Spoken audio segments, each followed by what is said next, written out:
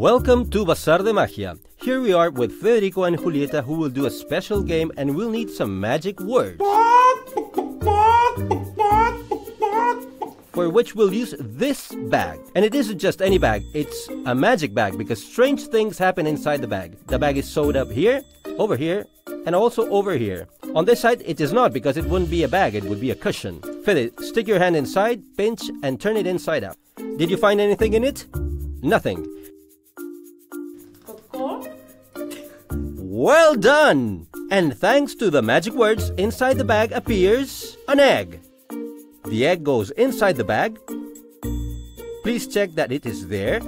Okay?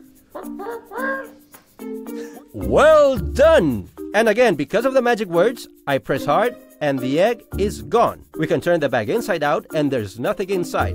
Please put your hand inside, turn the bag inside out. Do you find anything? No! We can even hit the bag like this many times to prove there's nothing inside. We can also twist it. Hit it again. Please check, Julieta. Nothing inside? So now I'm not even touching the bag. Nothing in my hands.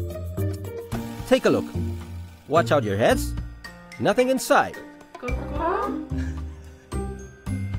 Nothing in my hands. Believe it or not, inside the bag appears